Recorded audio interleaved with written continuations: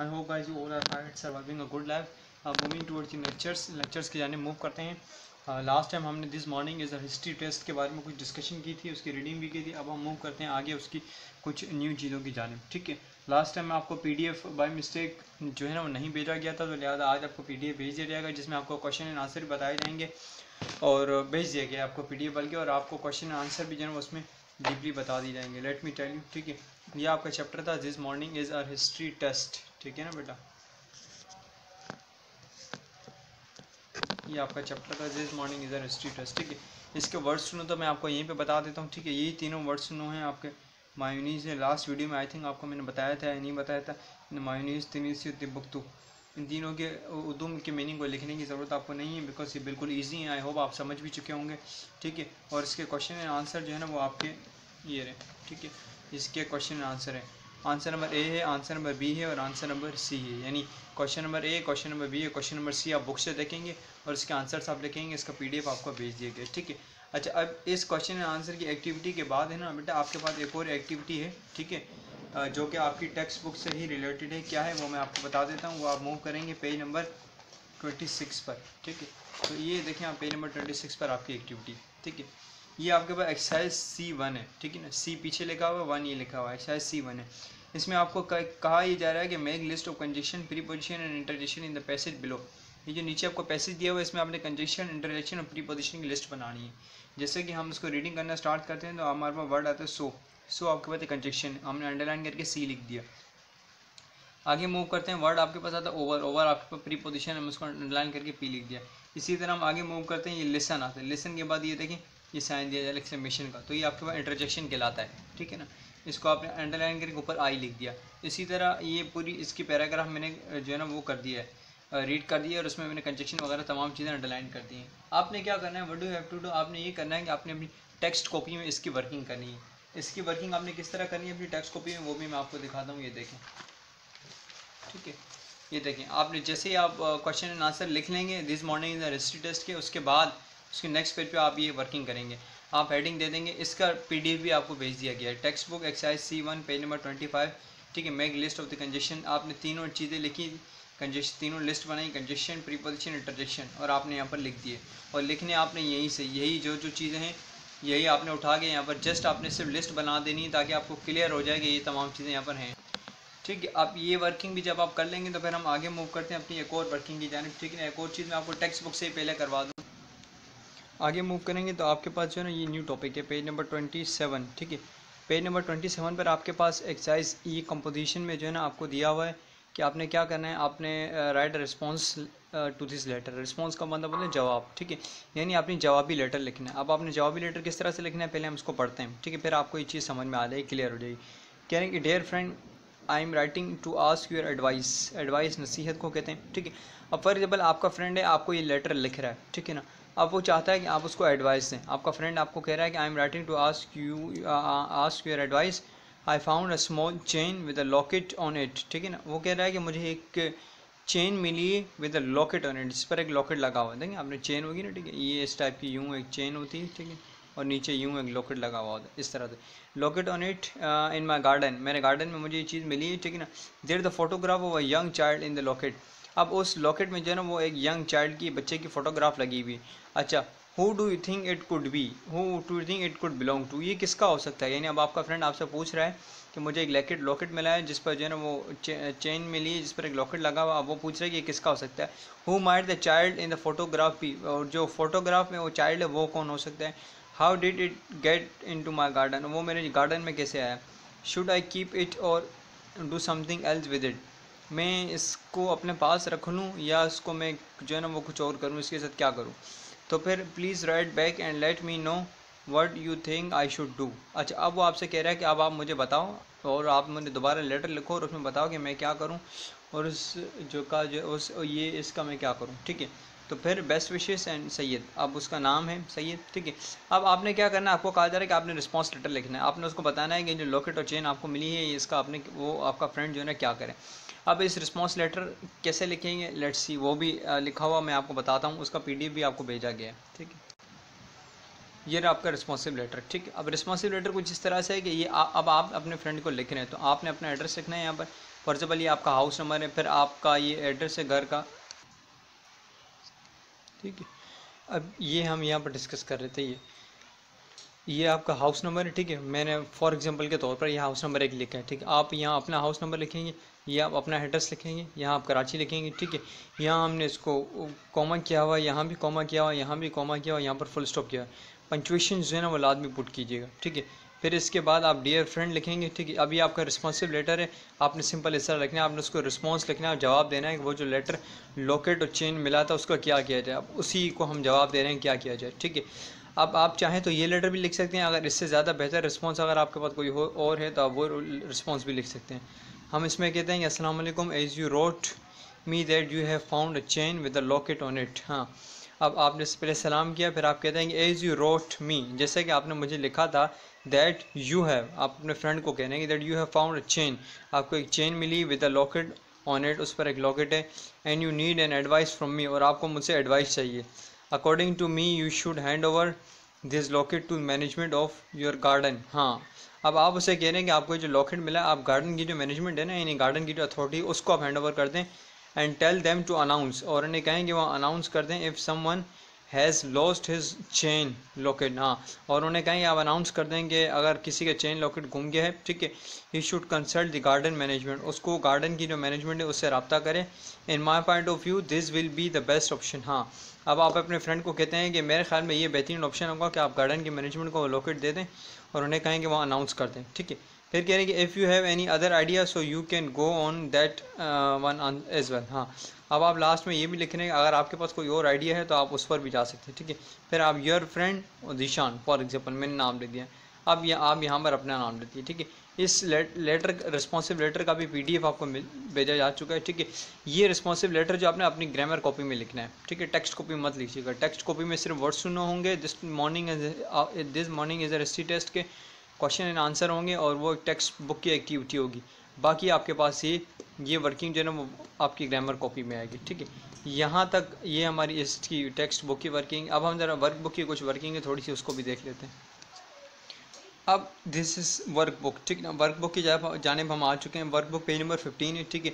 इस पर आपको कंजक्शन का टॉपिक दिया गया बेटा। ठीक है ना? अब इस कंजक्शन के टॉपिक में आपने ये एक्सरसाइज कंप्लीट करनी है, ठीक है ना? देखें एक्सरसाइज किस तरह कंप्लीट होगी।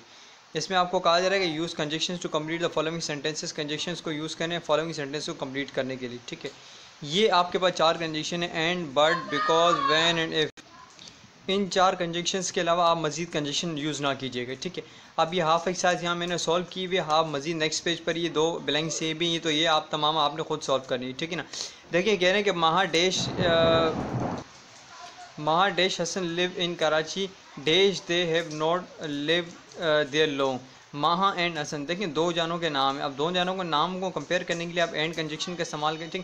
देखिए कंजक्शन होते ही वो वर्ड्स हैं जो कि दो सेंटेंसेस को या दो वर्ड्स को कनेक्ट करते हैं, जोड़ते हैं। ठीक है, फिर आप कहते हैं कि Maha and Hasan live in Karachi but लेकिन but they have not live there long लेकिन वो ज़्यादा अरसे तक वहाँ पर रहे नहीं हैं। ज़्यादा अरसे से वहाँ पर वो रह रहे नहीं हैं। ठीक है, लेकिन अभी भी रहते हैं। फिर हम कहते हैं कि दे लाइक द हाउस ठीक है ना?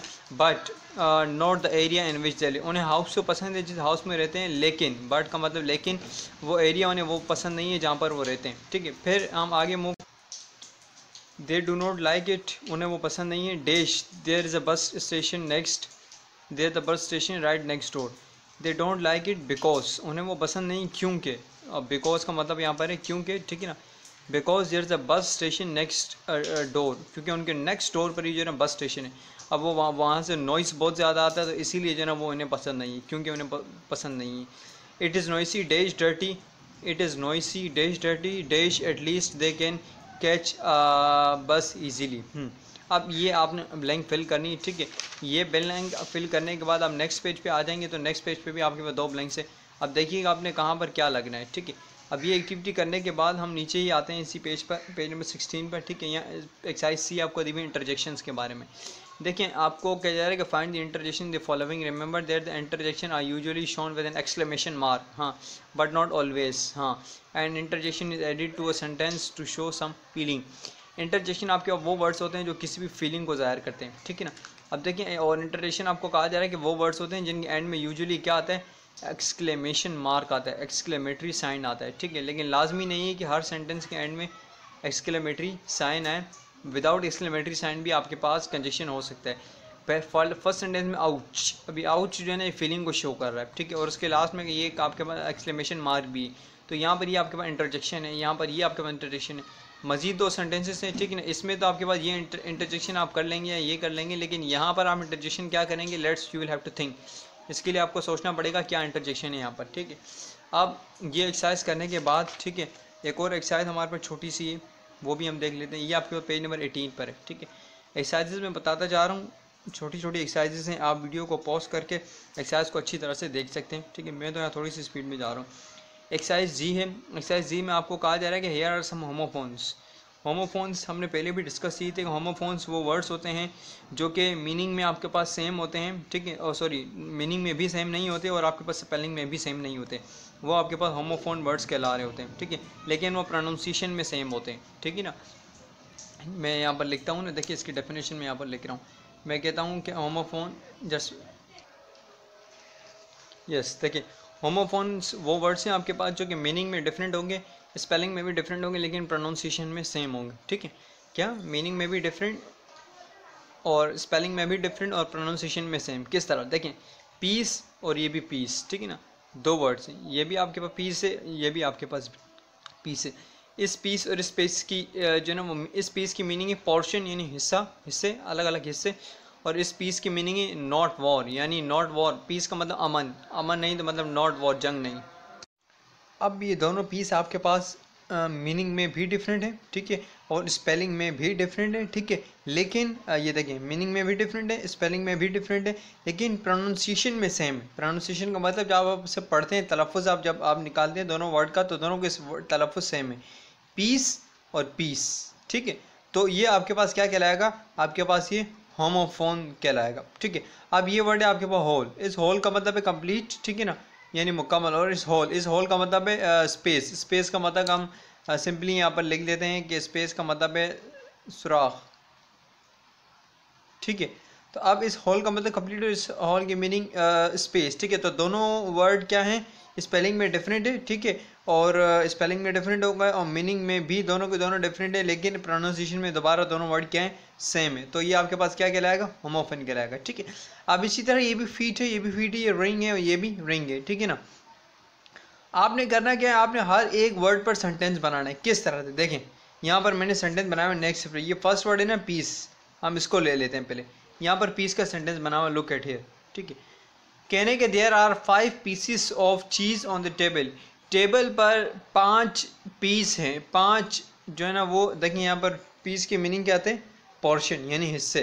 ठीक है? तो यहाँ पर है there are five pieces of cheese on the table table पर चीज़ के पाँच पोर्शन हैं, पाँच हिस्से हैं। यानी पाँच जो है ना वो अलग अलग पोर्शन में पड़े हुए ठीक है? नेक्स्ट वर्ड देखें, यहाँ पर आपके पास क्या है? पीस अब यहाँ पर आ जाए। पीस वो पीस था, उस पीस का मतलब अमन। अब यहाँ पर हम जुमला बना रहे हैं पीस पे to survive live with peace ज़िंदगी गुजारना पीस के साथ we need to understand each other हाँ कह रहे हैं कि अमन के साथ ज़िंदगी गुजारने के लिए हमें एक दूसरे को समझना, हमें एक दूसरे को समझने की ज़रूरत है। ठीक है? इसी तरह नेक्स्ट वर्ड वहाँ पर आपके पास था whole W H O L W H O L whole जिसका मतलब क्या था? आपके पास कंप्लीट आप यहाँ पर सेंटेंस बना हुआ है। The whole class is going to picnic, पूरी क्लास पिकनिक पर जा रही है। ठीक है? नेक्स्ट आपके पास सेंटेंस था होल उसकी मीनिंग सुराख, हम यहाँ पर कहते हैं there is a big hole in the middle of the road road के बीच में जो है वो एक बड़ा हॉल है। अब आपने इन चार वर्ड्स के feet feat ring and wring चारों के मीनिंग देखने उन चार पर जो है ना, यहाँ पर आपने सेंटेंस भी बनाने ठीक है? ये भी आपका टास्क है। अब हम आगे मूव करते हैं। ये भी अगेन आपके पास होमोफोन्स है। ठीक है ना? इस पर भी आपने वर्किंग करनी है थोड़ी सी। देखें ये फ़र्स्ट वर्ड है आपके पास योग और इसका होमोफोन है आपके पास योग ये योग आपके पास एग वाला है. फॉर एग ये एग के लिए इस्तेमाल होता है, ठीक है? ये वर्ड आपके पास स्टील ठीक है ना? इस स्टील की मीनिंग है रॉब यानी चुराना, ठीक है? और ये आपके पास इसका होमोफोन स्टील इस स्टील के मतलब है मेटल यानी धात, ठीक है? नेक्स्ट वर्ड आपके पास है मेल यानी ईमेल जो आप करते हैं, ठीक है ना? भेजते हैं किसी को, और ये वर्ड आपके पास है मेल यानी आदमी, ठीक है ना? ये वर्ड आपके पास है ग्रेड इसका मतलब बिग और ये वर्ड है आपके पास ग्रेड यानी इस ग्रेड की मीनिंग है rub on surface rub on surface का मतलब सरफेस पर सतह पर किसी चीज़ पर रगड़ना, ठीक है? अब ये वेट और यहाँ पर भी आप इसका होमोफोन लिखेंगे बीन इसका होमोफोन सेल इसका होमोफोन फ्लावर इसका जैसे कि सेल का होमोफोन आपके यहाँ बन सकता है C E double L cell ये सेल बेचना, ये सेल आप जो घड़ी में लगाते हैं रिस्ट वॉच में, वो सेल ठीक है? आप इसी तरह आपने ये होमोफोन भी लिखने हैं, ठीक है? मजीद हम आगे चलते हैं। इस पर आपने प्री पोजिशन लगाना आपके पास ये pre position the one two three four five and six आपके पास ब्लैंक्स भी सिक्स है। One two three four five six ठीक है? थ्री पोजिशन मैंने इंसर्ट कर दी एक्यूज ऑफ़ एक्यूज ऑफ़ का मतलब होता है कि इल्ज़ाम लगाना। एक्यूज ऑफ़ क्राइम समन किसी पर जुर्म का इल्ज़ाम लगाना। फिर नेक्स्ट वर्ड है इंसिस्टेड ऑन इंसिस्टेड के साथ आएगा on insisted on doing it insisted का मतलब होता है कि इसरार करना, यानी ज़ोर देना। ठीक है? नेक्स्ट आपके पास सक्सीडेड इन स्केपिंग स्केपिंग का मतलब फ़रार होना और सक्सीडेड का मतलब कामयाब हो जाना. तो सक्सीडेड इन स्केपिंग फ़रार होने में कामयाब हो जाना, यानी कामयाबी हासिल कर लेना. नेक्स्ट वर्ड आपको अकड के साथ अब कौन सा प्री पोजिशन आएगा? ठीक है बींग के सॉरी के साथ कौन सा प्री पोजिशन अपसेट के साथ कौन सा प्री पोजिशन आएगा, ये आपने देखना है. तो यहाँ पर आपका ये लेक्चर वाइंड अप होता है, ठीक है, ये चैप्टर भी आपका वाइंड अप होता है. आप अगले लेक्चर में इंशाल्लाह हम न्यू चैप्टर जो है ना वो स्टार्ट कर देंगे. तो यहाँ तक आपको जो वर्किंग दी गई है, आज एक्सरसाइज आपके पास प्रीवियस लेक्चर से ज़्यादा हैं, ठीक है, लेकिन छोटी छोटी एक्सरसाइज कंप्लीट करने की कोशिश कीजिएगा, अपने वर्किंग कंप्लीट कीजिएगा, अपना ख्याल रखिएगा। असल वरहमल वर्का